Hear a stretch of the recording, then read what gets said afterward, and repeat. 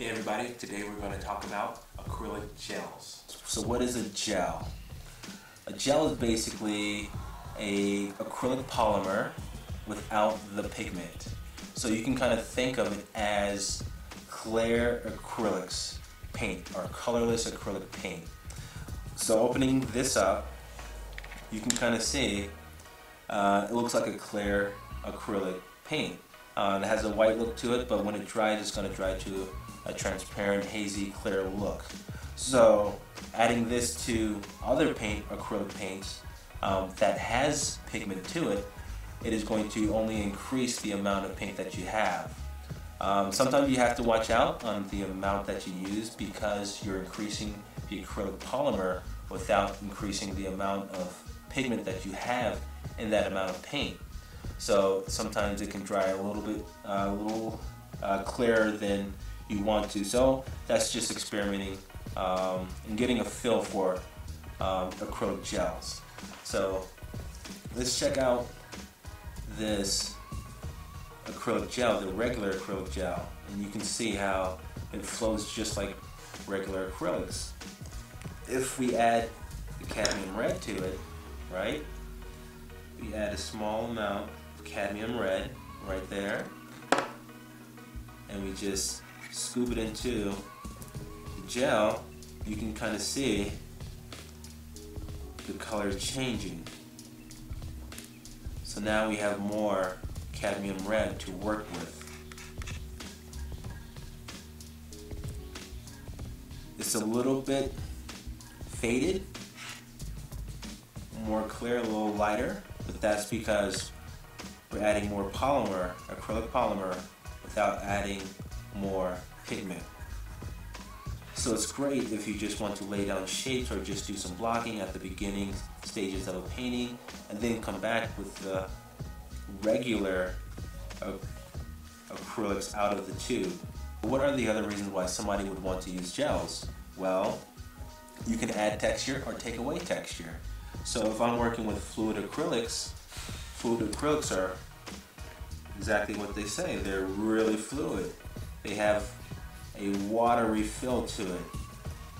I use this a lot for illustration. It's hard to use with a palette knife, but if I go to this extra heavy gel, you can see how thick that is. It's really thick. So if I want to add texture to this uh, red fluid acrylics, I'll add extra heavy gel to it and you can kind of see that it's giving it more texture.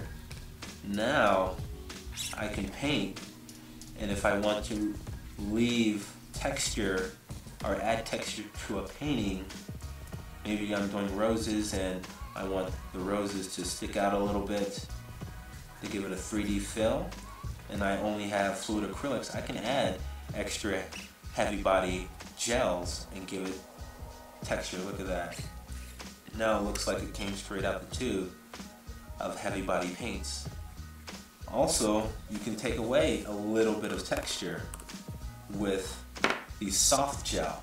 So the soft gel basically, just like the heavy body or the heavy, extra heavy gel and the regular gel, you're adding acrylic polymer, but this acrylic polymer is more fluid. So if I have heavy body paint, right? I have heavy body paint, this red, and I want to take out some of the texture and increase the amount of paint that I have. I'll just add the soft gel. Now it flows a little bit better.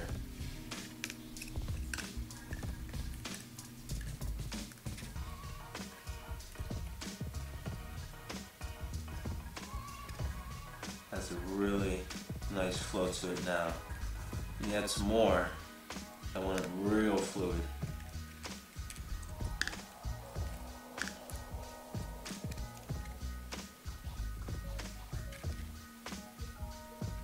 Now that you know a little bit more about gels, I think you need to go out there and experiment. Um, go to your local art store, just pick up uh, a small amount and just use that. Um, you never know if you like it or not.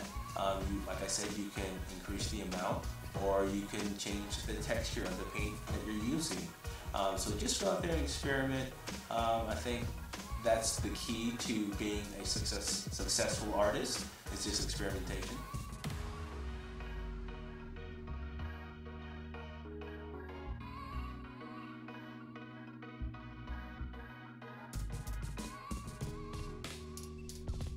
Hey everybody, today we're going to talk about acrylic gels. So what is a gel?